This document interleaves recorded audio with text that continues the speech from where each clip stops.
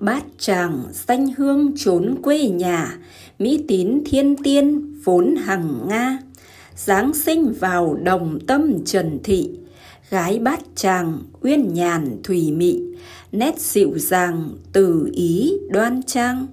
Mậu thìn năm đó dáng phàm, Trần Đồng Tâm vốn là vương phụ, Trần Đông Cục đích thị mẫu vương. Đức vương phụ vốn là thần dược, được tặng phong chính phủ hiệu sinh. Đức vương mẫu cũng dòng vinh hiển, là con gái vệ thần sách triều lê. Khi giáng phàm, ngài là quyền quý, dòng trâm anh, cái thế gần xa. Tiết trung, hiếu nghĩa thật thà, công dung ngôn hạnh, lại là Phật tâm.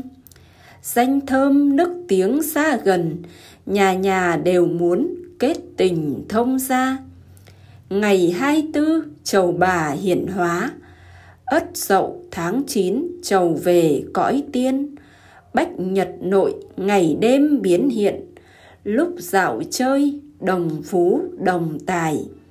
Có khi lại lễ chùa kim trúc, Lúc quay ra đồng Mỹ đồng tâm, rồi đồng lộc cây đa bà cận, Khi ngự thuyền long nhỡn dạo chơi, Khi dạo mát bến đò ba đậu, trở ra về lễ Phật bảo minh.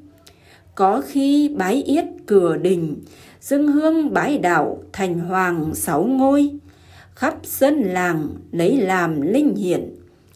Bèn rủ nhau cầu đảo dâng hương, nhiệm màu thay tâm cầu sở đắc, khắp xa gần kéo đến dâng hương. Truyền tay nhau hiển ứng thần linh, dấu chân hạc còn lưu hương đỉnh. Đức đồng tâm chẳng nỡ xa con mang thân ngọc hóa thành cho cốt.